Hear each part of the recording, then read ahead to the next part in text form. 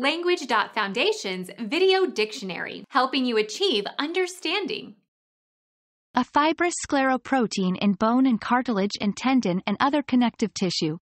Yields gelatin on boiling. Become our student and get access to effective and free educational materials. Subscribe to our channel to become a part of our growing community and to learn English effectively.